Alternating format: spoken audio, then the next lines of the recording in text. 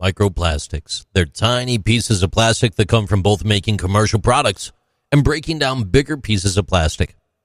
Officially, they're any plastics with a width of less than 5 millimeters or 0.2 inches.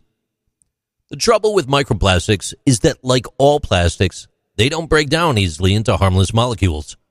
Plastics can take hundreds or thousands of years to break down, and in the meantime, they could cause some damage.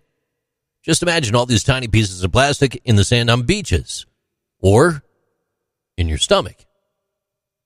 Primary microplastics are small pieces made for commercial use, like cosmetics, and microfibers that come off of clothes or other textiles, kind of like fishing nets or those rags that you dry your car with. Secondary microplastics are small pieces of plastic that are made when bigger pieces of plastic, like water bottles, break down.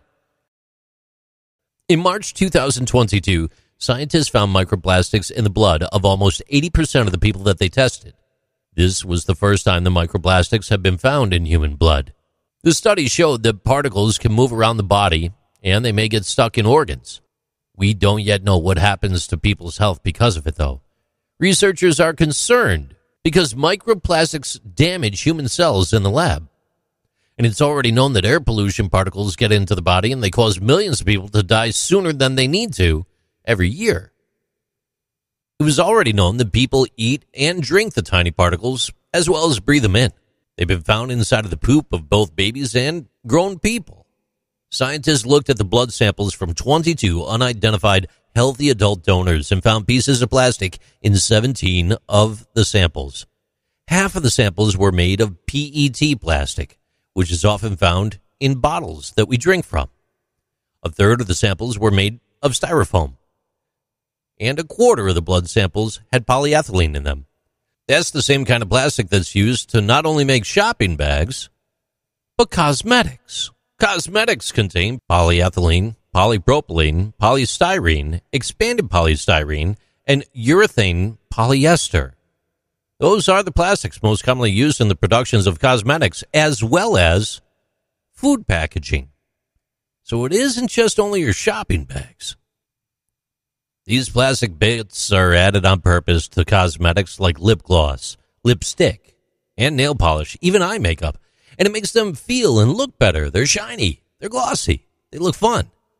They're also added on purpose to personal care products like face scrubs, toothpaste, and shower gels to help clean and exfoliate the human body.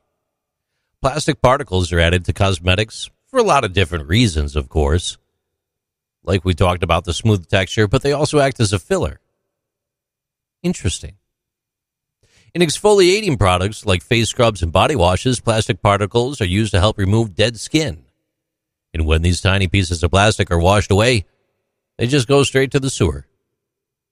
They can end up in sewer sludge from wastewater treatment plants, which is then used to fertilize farmland, or in cleaned water that's released back to the waterways. There's also tiny pieces of plastic in the air, believe it or not. Researchers in Paris looked at how much microplastic was in the air outside and found that there were between 3 and 15 bits per cubic meter.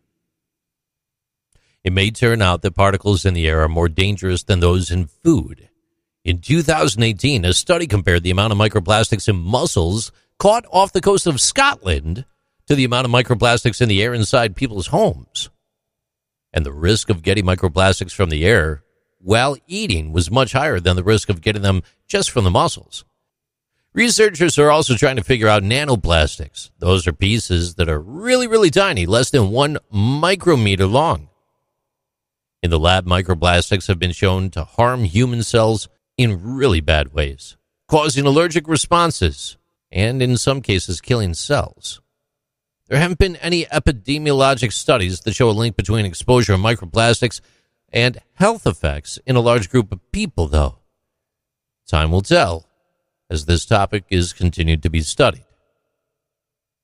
These are interesting things with JC.